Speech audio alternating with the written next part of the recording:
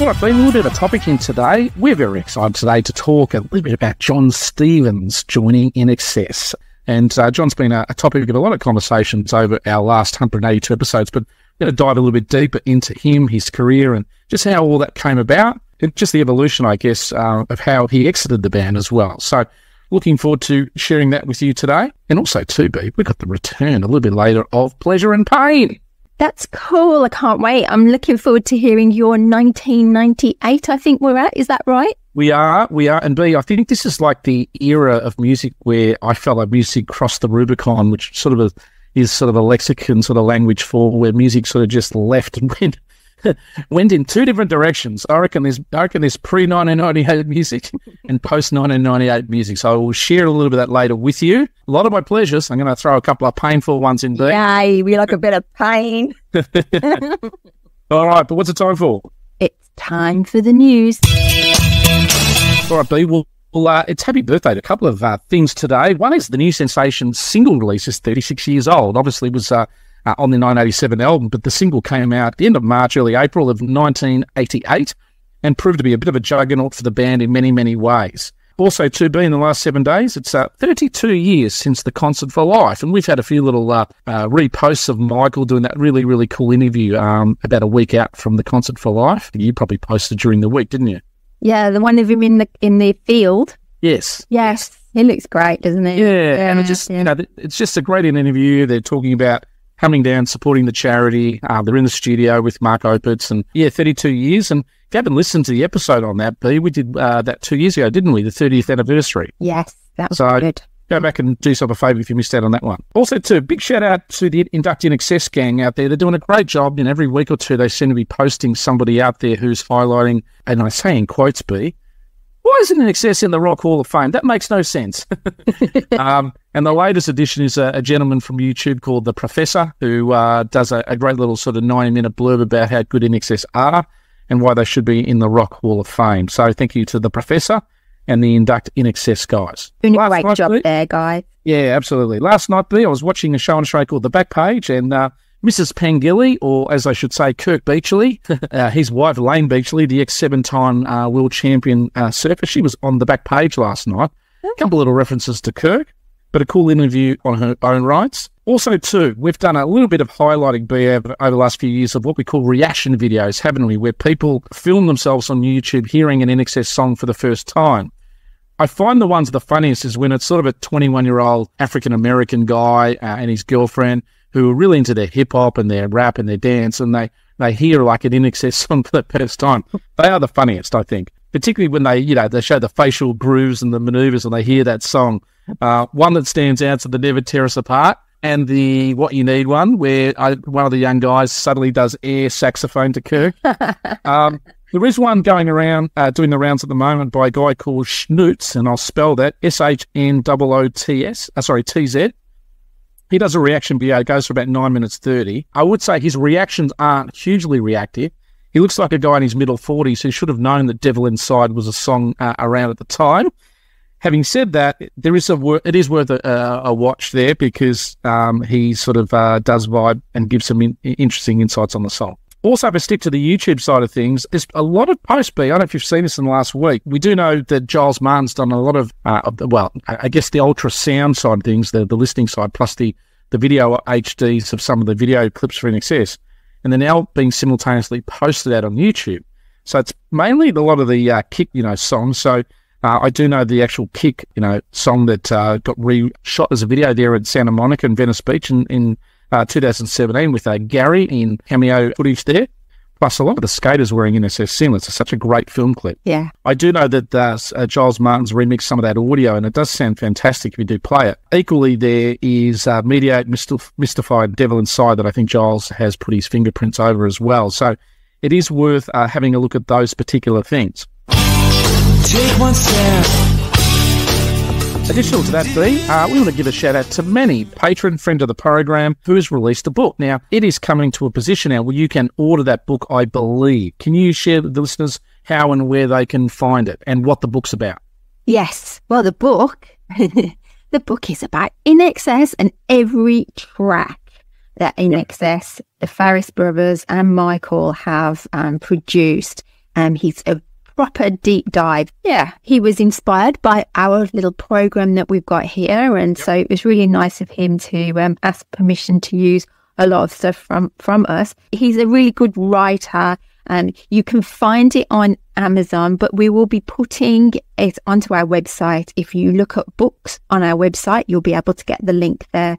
But we'll be doing a post. I'm sure you've all seen it already. Manny was hyper excited, and he sent me and Hayden a photo of it in the box and he ripped it open and there it was. So like, yeah, we were so excited for you, Manny. It was so, so cool. So he's written about every INXS song actually written and recorded, yeah. you know, uh, A to Z there. So uh, I can't wait to read it because, yeah. um, you know, again, you know, it's still a band that, you know, you learn so many things about. So uh, we will get Manny Manny on very, very soon to talk about the book. Maybe we might better do something where we can, as I said, drive some sales towards uh, his platforms and our platforms and uh, make it a win-win for everyone yeah, very good. Last week, as you probably know, the Never Tear Us Apart uh, video, which was the uh, extra footage uh, shot there in Prague, Czechoslovakia at the time, was given a release. I think it's about five and a half minutes. And I do know, I think Matthew Marston did mention that some of that footage is, might have been available on the Kick Flicks video, but also there's a lot of footage there that has never been seen before either. But it's just so more cleaned up, isn't it? It's really yeah. vibrant and beautiful. And look, there's just so many cool little excerpts there and just some sort of different perspectives where the camera is and some loops there that are played. But I do want to highlight the articles in Billboard and also the articles in Q Magazine because credit to INXS Management, when this stuff comes out, they're very good at getting them out to probably two or three of the bigger publications in the world. Yeah.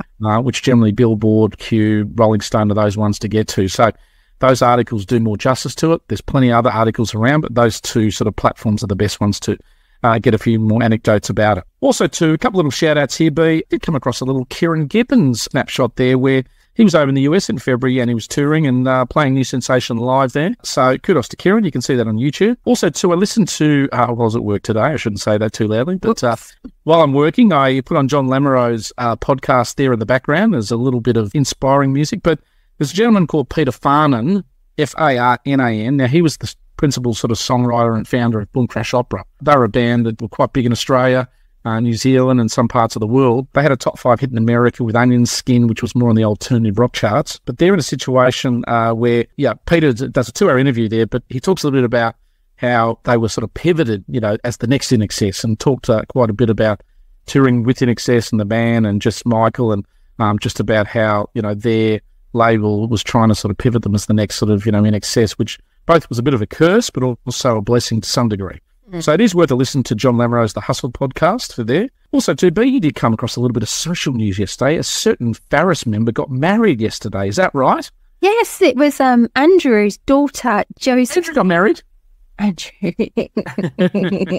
Andrew's daughter, right, okay. Andrew's daughter, Josephine. Well, it looked like it was over at the farm in, uh, I think it's just outside Tamworth, which is um, country, sort of New South Wales, um, on the going up to the border there of, of Queensland. But uh, yeah, it looked lovely. Just really humble, beautiful wedding. Yeah. Bit of a big beer barrel out with a couple of champagne. So yeah, it was good fun. Who was the music director of the debut?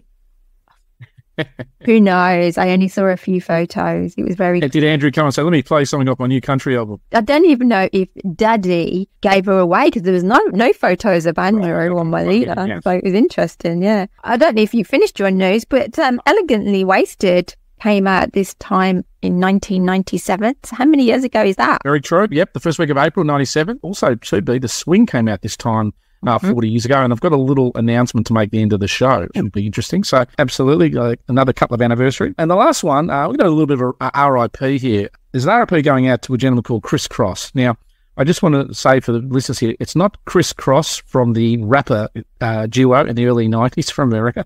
And it's not Christopher Cross okay, who was the yacht rock sensation in the late 70s with hits like Sailing and Arthur's Theme and Ride Like the Wind. This is a, a gentleman called Chris Cross from a band that you'd be familiar with, B, called Ultravox, who wrote the beautiful song Vienna. Oh. Okay, and unfortunately, he passed away, I think, at 71 over the weekend. Uh, so RIP to him. For those that know Ultravox and the song Vienna, do yourself a favour. One of those majestic new wave uh, centerpiece songs of the era. Can we? Let's play a little bit of it.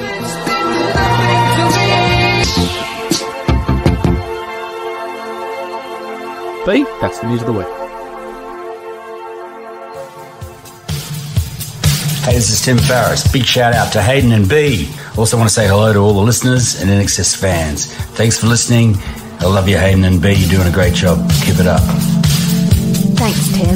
And now it's time for topic of the week. All right, B. Well, uh, very excited about this topic today. We're talking about Jon Stevens, and um, I'm going to give John his due here. Uh, as many of you know, John stepped in to fill the breach of, of Michael uh, between 2000 and 2003 with INXS. And John's a guy that, uh, if I think back to his uh, you know prior career and his achievements there, really was a perfect fit to join INXS given the circumstances. And we're going to sort of flesh that out a little bit today. I guess as a bit of a backdrop, though, B, um, a lot of people don't know that John has had about sort of seven careers. If you actually look at his bio and look at Wikipedia and all those different things, he's had many, many incarnations. And, you know, I got to admire you know, his work ethic. He's, uh, I think, just turned 62, 63. He's just having a, a, six, eight week holiday. He's always touring. As a lot of you know, he's out there playing INXS and Noiseworks songs, you know, recently. Uh, you just went to, to see him live. You know, the crowd there, uh, you know, uh, he, he elicits a very passionate response from the crowd.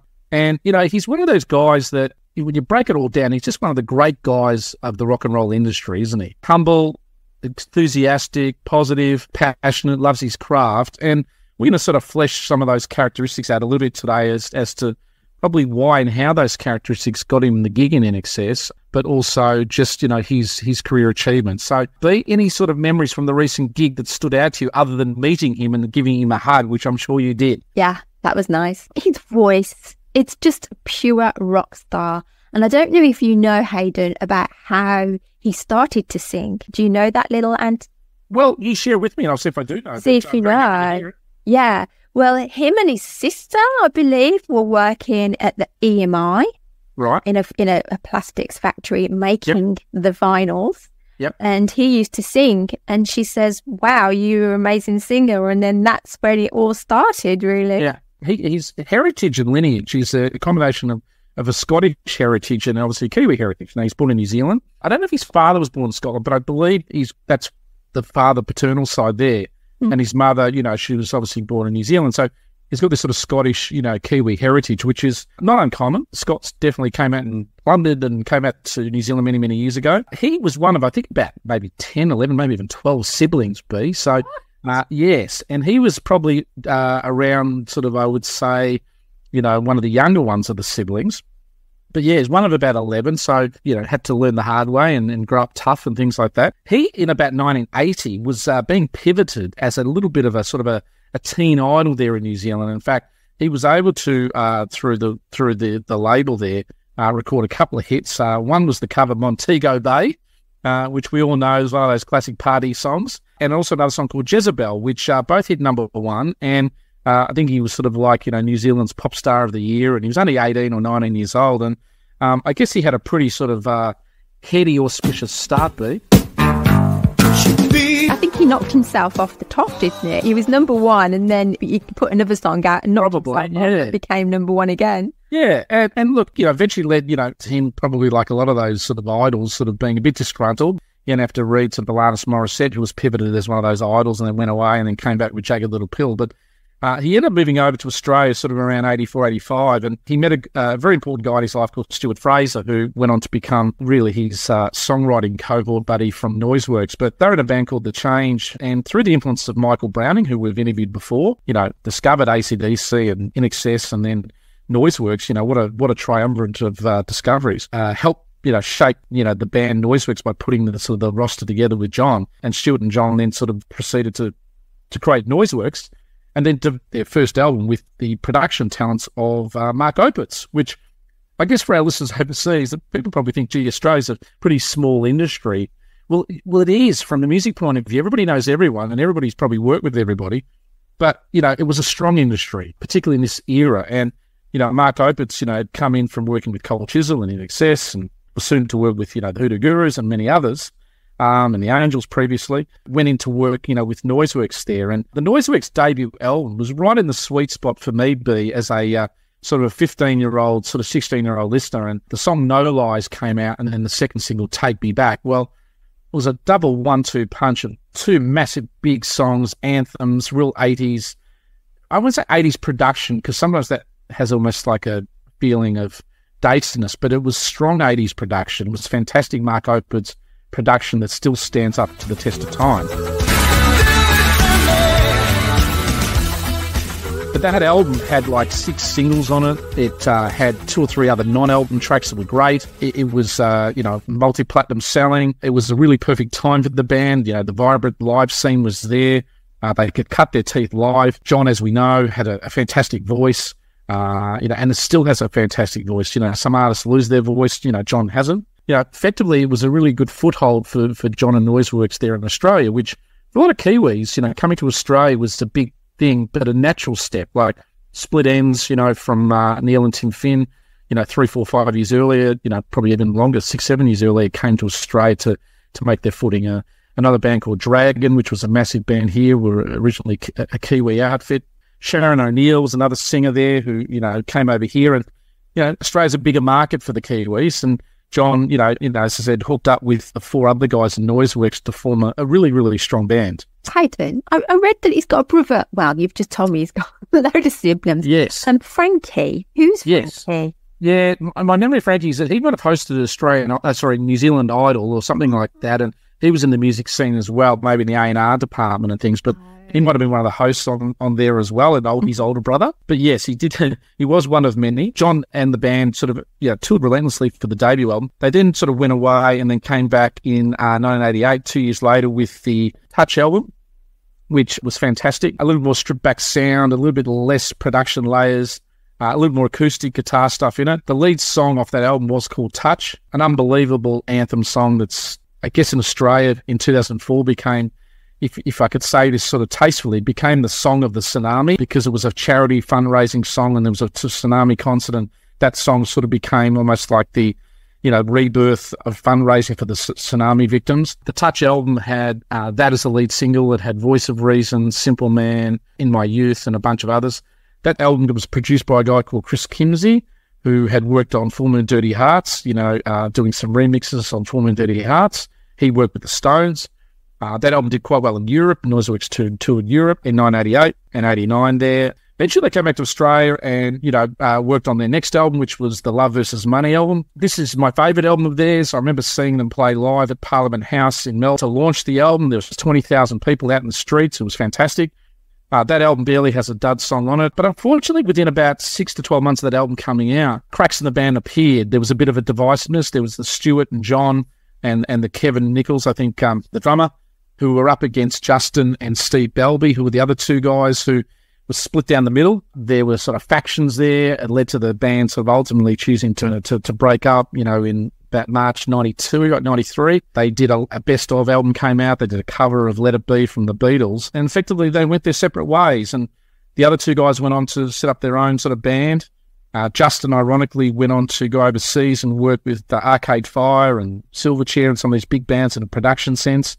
Uh, Justin's married to a lady called Nick Acosta, who is the lady who sings New Sensation on the original Sin album.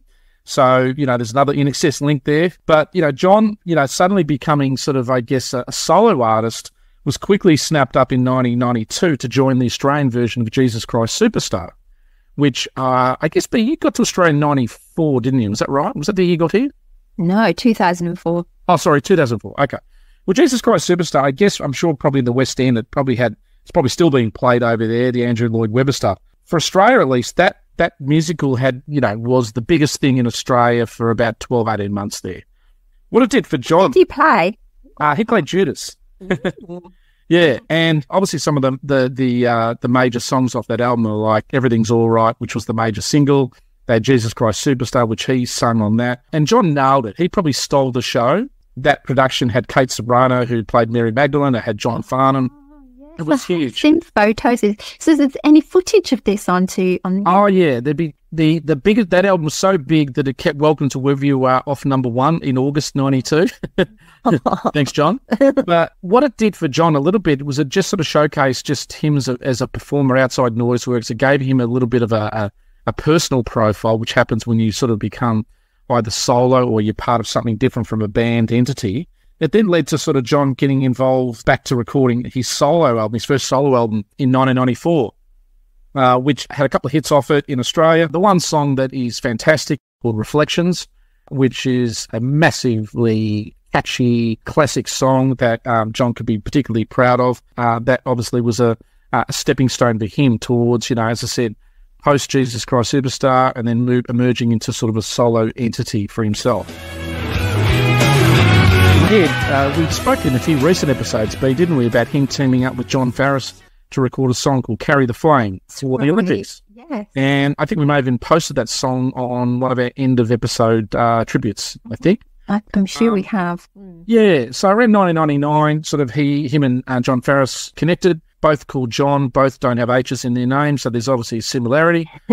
Again, the Australian music industry, INXS, were, if I could use uh, mafioso terms, they were the godfather of Australian music.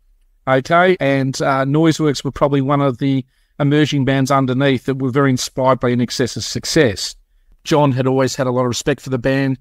I think a lot of the touring bands at that time, like the Hoodoo Gurus and, and Cold Chisel, maybe a little bit earlier, the Oils and Crowded House and all these ones, having seen INXS really take it to that next level was something that was quite inspiring, albeit competitive and even jealousy sometimes amongst the bands. INXS had gone global and not many Australian born acts and artists had, had gone to that level. So I guess, you know, with Michael's passing and with the passage of some three years and the band had gone through the Terence Trent D'Arby, you know, one-off show. Uh, they'd had uh, Suze DeMarchi do a show with them. They were starting to find their feet again as towards touring. You know, the band did ring up John and asked if you know he would come and play with them. Uh, the band were just as as we said in previous episodes, coming off the Tim Rice extravaganza. I think they were feeling better about themselves. They were, had probably made the decision we're going to you know progress and we're going to keep going. And when John did get the call up B, he was, he had about like a day or two to rehearse 20 songs for the Mercury Lounge gig. And he joked, well, I don't need to rehearse them. The whole world knows these songs, etc. There, But I'm still sure the lyrics, you know, we, you know, even you and I, we probably forget half the lyrics anyway. Yeah. and remember the lyrics is not easy with 20 songs in about 48 hours. no, you did Uh, well. I, I think the band said, look, it took Terence Trent D'Arby a week to, to learn four songs and maybe not remember all the lyrics. Poor old Johnny came and had to learn 20 in about two days. That so- shows you the caliber of the man. Yeah, that's right. That's right. So, look, just fast tracking a little bit, you know, uh, we, we have spoken in previous episodes that, you know, John's first gig was at the Mercury Lounge in May 2000, and then that was sort of followed up, you know, a week or two later in Sydney with those uh, songs being played. The thing that I remember quite vividly around this time, B, was that there was, in 2001, around May, there was an announcement called a Just for Kicks tour. And this was a northern New South Wales slash uh, Queensland border tour of about eight to 10 dates. Now, Matthew Marsden's done some posts on this in the past about all the various gigs, but I found myself be snapping up a couple of tickets, flying up to Tweed Heads and Coolangatta and seeing the band play at the Tweed Heads gig with John for the very, uh, well, not for the first time, for the second time, seen them at the Mercury Lounge a year ago, going to see them as more of an entity, more as a, as a group. And then I stayed at that hotel overnight, and I remember going downstairs the next day, and I went to the concierge. And as I went to the concierge, there was a gentleman who sort of didn't quite push in front of me, but he asked the concierge for a, uh, a telephone book. Remember those things, Bertie? No. Remember, the- remember those things called telephone books? yeah. Kids, if you don't know what one is, ask your parents. But uh, uh, this gentleman was handed the yellow pages, and he looked over my direction and said, "Thank you for letting him get served first. And that was Andrew Farriss. Oh, Yes, and Andrew was trying to work out, you know, the way down to the next gig, you know, maybe where the accommodation was. I don't know. It was it was something along those lines. If it was me now, B, I would have said, "Hi, Andrew. Let me buy you a coffee. yes. Let me Give let, you a lift. Yeah, a bit like Richard Lowenstein when I saw him down in South Melbourne. I got out of the car and ran after him. Didn't you spin around in the car? Sporting terms, I would have 180, done a-? I would have done a hard tag on it, Andrew. I'm sorry, Andrew. I, I need to pull you aside here. You, anyway, uh, the Just for Kicks tour was great. I, I went down to the Ballina gig. I, I was I was nearly going to go into the Coffs Harbour one, but uh, I I had heard it was really good. I was going to go down to that one, but I just found from time constraints, I thought, well, it's another couple of days and then getting back or whatever. So I, I just did the two. But I think from memory, seeing John and the band there, as I said, they were doing these regional tours. There wasn't a lot of pressure on them. It wasn't like the Mercury Lounge where every, everyone, you know, was trying to find out, you know, the first gig after Michael. It was sort of a, a way of a band just sort of cutting their teeth a little bit in some regional markets with, without a lot of expectation and without a lot of fanfare. Again, the band had come off, you know, closing the Olympics with John sort of uh, some six months earlier. I guess, you know, you could sense that the, the camaraderie was there. You know, they, they had a friendship that was built anyway. And you could see a good rapport on stage, you know, with them as an entity. Joining INXS was it's one of those things, you know.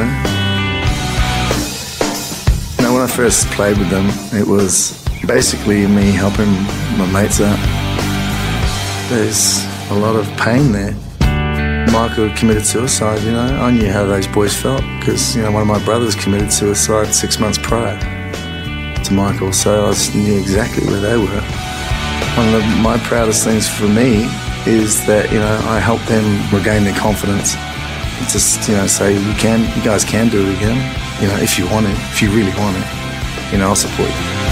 We fast forward to early March 2002, I think management at the time, now we're going to remember this, Chris Murphy wasn't managing the band at this time. The band were able to snare a US tour, both throughout sort of the, you know, the continental sort of America there, and then also going into Latin America. Uh, where you know they had a very big sort of following. Plus, they were also able to include you know uh, a European sort of uh, stop off there, and I think they booked something like 55 gigs there, where they did that Night of the Proms tour that I've mentioned a few times before in Belgium and Europe. They did obviously America there. They did Latin America. And I think they were joined on tour with, with maybe Midnight Oil and the American leg there as well. The thing about that particular time there is that I think they announced in March 2002 that John was now officially a member of the band. I think management and the band probably wanted to go overseas with a united front saying, is he in the band or not? Give us the answer. And I think for, for John's security point of view, he'd been, you know, touring around for 18 months and doing things to go on a tour overseas, it was probably a, a, comforting thing to go, I'm part of the band. Yeah. Rather than just the guest singer and things like mm. that. The issue I think that sort of came up though, and, you know, which we'll talk about in a moment, was I guess the fact that they, the management at the time, were really putting out so much material of greatest hits and reworkings of greatest hits. And we've talked about those last two, you know, Shine Like It Does, the year specials. But there was another three or four, you know, repackaged albums that were coming out you know, with all this stuff going on, you know, we saw some lovely footage there, which I have to thank a friend of the podcast for, for sending my way, Catherine, who uh, showed that footage. I think Andrew and Kirk playing at the Rhino launch of Shine Like It Does. Did you see that? Yes. Yeah. So big thank you to Catherine for finding that. I did try allude to that that happened. I think I might have mentioned it was Tim and Kirk, but as it was, it was Andrew and Kirk. But I think for John, you know, from a creativity point of view, John was 41, 42 years of age, and he had a, you know, thirst to, you know, want to create some new material you know, I'll park that for the moment, but that probably was a contributing factor to, to how things ended. What I'd like to talk positively about B was what did John bring to the band and what was the vital things that John, I think at that time, was able to bring? Well, I've written these things down here, you know, and I've thought about these things. You've got a list, Hayden, a list have you? I've got a list, yeah. I think he brought compassion and positivity. Jon Stevens is one of the most positive guys when you see him speak and talk and whatever. Yes. Agree. He knew the band of brothers INXS had lost their other brother, Michael, mm-hmm. and he knew they were wounded. And I think to John's credit, you know, he came in with a sense of compassion, positivity, and say, "Come on, guys, let's get this thing going. You're fantastic." And sometimes you need ex- external voices reminding you of your capabilities. Yeah. And I think that was a great asset at that time. John's vocal strength, you know, it can't be underestimated. We've marveled at Michael's sort of vocal inflections and nuances and cadences that he's been able to put on so many different songs. John had a bigger set of pipes than than Michael did in terms of range, but John uh, was able to navigate the subtleties that Michael had particularly well with the material and the songs. And I think that became a really good fit. I think John had a passion for the material. He knew the material a lot, being a fan of the band, um, which meant learning sort of uh, the exact lyrics wasn't as hard as uh, it was for Terence you know, the fact that John's playing the material to this day means, you know, he's a, still a fan of the material. John's enthusiasm and attitude overall, like I, I do remember seeing on stage, particularly with the other band, band members, was infectious. John's a leader. He's led a band before. He knows what it's like to be the guy responsible. So he knew the shoes he was sort of trying to fill. And I think the biggest thing was a sort of a sense of healing to what was an unconfident band. You know, the band weren't confident. I don't think the label were confident. I don't think management were particularly confident because how could you be after Michael passed? Mm-hmm. You know, no one could say we're really confident now. We've just lost, you know, our star attraction. I think that's the, the breach that John was able to bring in that without John, there wouldn't have been a Switch album. Without John, there probably wouldn't have been more tours and, and more INXS through the. I just wish he'd stayed. I just wish they'd let him write more. What I'd like to add to your list yeah. that he was Antipodean. Yes, I know what that means. Right. Which is that, which is that Australian New Zealand sort of. Yeah, and I think that really, it really, it needed to. Great seeing Terence, but it still felt not right. Yeah, I think one of us, INXS, particularly the homeland, we were all patriotic about our band, um, Mm. and we, you know, probably wanted to have that flag bearer from our Australian, you know, New Zealand region. And Jon's an Australian citizen, so he's both a Kiwi and an Aussie now these days, and has been for a long time. But yeah, I- I think Jon, you know, Jon just knew what they were going through. He knew their heritage. He'd seen their ascent. He'd seen the descent post Michael, and I think he was coming in, as I said, with a sense that he, he was, you know, effectively a, a healing voice and a healing person to be around. And obviously, his relation with Jon Farriss was close, and I think that would have sort of helped too. That there's a friendship and a camaraderie that sometimes is, you know, the Australian way. You know, our mates helping our mates out, uh, No. and that's what we're about. And the other week when I met him, I actually saw that firsthand when I mentioned INXS to him. I could see his eyes lit up. I love Yeah. these guys. You know, he was just so happy to talk. Yeah, I'll come on the show. Yeah, Oh, wow, this is fantastic. All these decades later, and he still wants to be part of Yeah. it. Mm. So if we fast forward to 2003, you know, um, the the Rugby World Cup, uh, Union World Cup was on in Sydney, and the band had signed, uh, you know, with Jon a sort of a contract to record a song, you know, for that soundtrack or that particular EB Games things that was going on at the time. And uh, the song was called "I Get Up," which uh, I know Pedro, one of our patrons and long-term listeners, uh, loves that song. Was a, a pretty cool song and contribution. Unfortunately, though, really not long after that, it was announced that Jon was leaving the band, and you know, to give some context around that, there was, you know, a sense of, you know, possible acrimony uh, around that. I think there was a rumor going around. It was a bit like, you know, the, the new guy better get a lawyer and things like that. I think Jon, in, in future quotes and future interviews, has sort of uh, quashed some of those sort of acrimonious type sort of attitudes and things and saying, well, listen, don't believe everything you read. There's some couple of factors sort of that were there. Now, let me take it from Jon's point of view first. I think he was at a point where he wanted to create new material and write and do more stuff. Management, the band, they had them on, you know, these sort of greatest hits tours, you know, these these package tours overseas, uh, these reissues, all this type of stuff. Which, in a way, for a band, you know, they were treading water, you know, creatively. Jon knew that. You know, Jon probably had a thirst for material. I think the day after he finished up with the band, he wrote a song, you know, and he just wanted to be get some stuff down. Like, you know, he was okay maybe for eighteen months, two years about, you know, consolidating, getting the band back to sort of together again. But he felt like there was a point where they needed to suddenly go, okay, let's start let's start writing some stuff. You're in here this morning not so much to talk about that, but to talk about your plans for the future. And Yes, you have a, a pretty big announcement to make. I do indeed. Um, pretty much at the end of the year, I'll be moving on to other things uh, with my solo career and various other music projects. Um, so, yeah, I finish up with INXS at the end of the year. So this is the first time you've said this publicly. Jon Stevens yes. is leaving INXS. Yeah, moving on, making music. You know, three and a half years to make one single, so I want to make albums. It's a big decision to make. It is, and I'm very nervous about it, but uh, you know, you got to move on. Yeah. You joined the band how long ago? Uh, three and a half years ago, actually, yeah. Um, and we've done a lot of stuff. We've been mainly touring internationally. And, uh, you know, as I said, we've, we've recorded a lot of stuff, and it's just seems to be kind of going around a bit of a circle. So, You joined the band what two and a half years after Michael died. It Yeah. was obvious the guys were obviously shell shocked after that. Yeah. They they did gigs with Terence Trent D'Arby. They were scouring the world looking for singers. They invited you to join the band. what did you think was going to happen at that time, and what, what Well, were I mean, your expectations? For me, at that stage, it was just basically helping mates out. You know, it's like the wounded duck theory. You help, you know, get get it all back together. You know, and now that it's all back together for for, for the guys, um, for me, it's you know, I just need to do some other stuff. Well, there were frustrations, obviously, Jon. It hasn't turned out the way you, you would have liked it to. Um, no, on a creative level, no. Um, but that's something that you know time will time will tell for for both parties, I guess. You wanted to record, tour, and really take things on further. You, you, you're frustrated it hasn't Well, you know, being in a band, you're, you're, you're susceptible to, you know, too many Chiefs, no Indians. So, you know, for me, you know, being in Noiseworks for years, uh, that was my band, it was my music. And, um, you know, it was a very, very satisfying experience. So I guess, you know, from a creative point of view, that, that, that's pretty much, you know, what's going on there. Michael Hutchence left some pretty big shoes to fill, didn't he? Hey, it's, hey, we can't take it away from Michael. He's the man.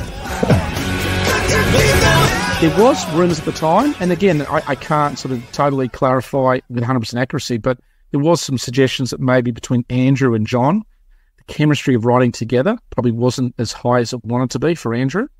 And, you know, I don't think that's a reflection of Jon so much. I think probably Andrew, you know, who had always worked with Michael, um, to go suddenly work with another songwriter and who was a strong songwriter in Jon, and Jon played more instruments than Michael. Maybe there just wasn't that sort of chemistry in writing that meant Andrew sort of felt like that it may not be the fit they needed to go forward. But that's probably only something the two of them in the same room or, you know, individually speaking could probably answer. But that was suggested at the time. They came out Um, with that beautiful song, though, Brother. What's that? Where is my brother? They wrote that together then, didn't they? I don't know what that song is. Yeah, Andrew wrote it not so long ago, put it on his album, but him and Jon, Oh, okay. It, it, about one of the songs he- they'd written together back in the day. Yeah, yeah. Okay, cool. Did Andrew put that on his country album, did he? mm, Okay. but he wrote it with Jon Stevens. Ah, yes. They Okay, wrote it cool. together. Mm. Cool. I also think at the time, you know, we didn't have the stewardship of, of a Chris Murphy. Now, you know, whether it was Dave Edwards or Martha or whoever was involved really managing the day to day stuff at that time. And I know a friend of the podcast, Darren Jones, who was very active around that time, who we may have come on to our episodes just to fill some little blanks in, in the next couple of weeks. You know, there wasn't that sort of, you know, uh, stewardship of a Chris Murphy at the time, probably spearheading sort of a plan and a band uh, goal. Like if, if, you, if we think back to Chris Murphy, all we think about is whiteboards and strategy and, and all those type of things. And, you know, it's no coincidence that once he got back involved with the band, the success suddenly picked up for them again. So, you know, I guess at this particular point, you know, we had Jon who ultimately was going to leave the band. Uh, as I said, the creativity side of things was was something that was a little bit low. If you do go to YouTube, though, you can find, particularly in South America, Jon singing Hungry, which is a great version that was ultimately sung by JD off the Switch album. There's another song that Jon sung called Sugar that was uh, well received live that is on a lot of the platforms. So there was obviously some material that they were sort of putting together that did see the light of day, albeit with JD, etc. There, you know, for Jon, as I said, you know, he was probably just getting a little bit bored, you know, in the end, and wanted, you know, if it wasn't going to take the next step, you know, creatively speaking, you know, maybe he was better off just to go pursue his other interests, which ultimately he did. In terms of the word rift, no, you know, I guess it probably was difficult when you separate because I think Jon probably had aspirations for something bigger. But they've obviously, you know, over the years remained good friends. You know, I think there's footage of Andrew and Jon playing together at the Farm Relief concert a few years ago uh, here in Australia. You know, Jon's touring the INXS material these days with Andrew's blessings in many ways. As you said, you know, through a lot of the interviews that Jon's done about the INXS tour that he's doing now with their material plus Noiseworks, he speaks very fondly and, and very positively about his days, you know, with the band and just the strength of the material. Um, I guess overall, B, I think as you sort of said before, I think in some ways it's just a bit of an opportunity that they lost. You know, you know, this is a true true story. The week after Michael passed, and people asked me who's going to be the new singer, and people said, I said, look, they always went on and continued. I love the big Jon Stevens. Why? Well, he wasn't in a band at the time. He was in a band called Noiseworks previously, which was one of my top five bands. Interestingly, I thought, well, take a great singer, take a great band, maybe that could be a mix. Ironically, three years later, it happened. but I think maybe just the timing of how it was all happening and the nature of where, you know, it just took INXS a long time. That, that is the five remaining band members to recover, to want to go out and have another crack at it again. And when I say have a crack at it again, I mean not go do country tours or do a few little side tours and things like that.